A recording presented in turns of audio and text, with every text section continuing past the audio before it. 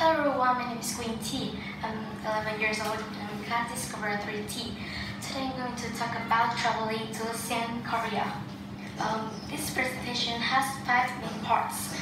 There are um, the location, um, the time zone in the flight time, the best time of year to travel, um, the people, the food, and the tourist attractions, and exciting things to do and travel tips. First, I will talk about the location. Um, Seoul is in Korea and it's below to China and near Japan. This is the map of South Korea and this is Seoul. Second, I will talk about the time zone and the flight time between Vietnam and Seoul. Seoul is two hours ahead of Vietnam and it takes four hours to travel from Vietnam to Seoul. If the flight uh, leaves at 1 p.m., it will be 4 p.m. It will be 4 p.m. in Seoul when I arrive. Uh, then I, then you will know some.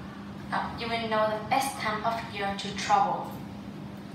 It's mostly cold in Korea, so I think winter is the best time of year to travel, and I can feel I'm standing in the snowing weather. Um, next, I will tell you the people, the food, and the tourist attractions you should visit.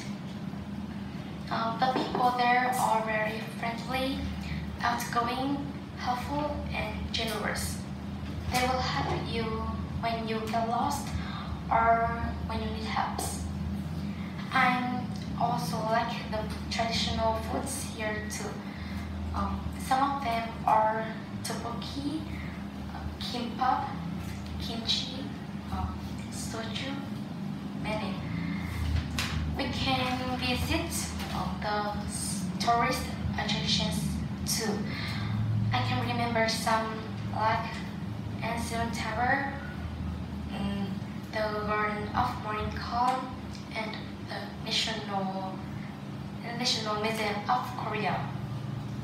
Finally, I will finish this presentation um, with some deciding things to do and some travel tips.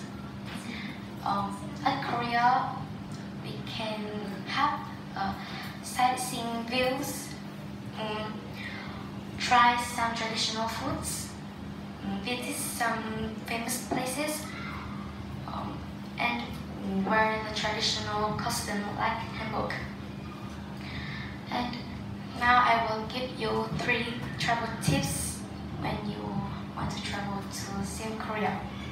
Um, uh, tips one: um, don't don't forget to bring your passport, your flight tickets, your phones, your clothes. Tips number two: remember to bring your important things when the weather is hot or cold. When the weather is hot, you should bring your sunglasses or sun cream. But when the weather is cold, you should bring your sweater um, or your scarf. And tips number three is um, you should bring your camera to take a lot of photos. Um, if I have a chance, I would like to visit an amazing city, Seoul. Mm, that's the end of my presentation. I hope you guys um, one time can visit Seoul, Korea or um, another amazing city. That's the presentation. Thank you for listening. Goodbye.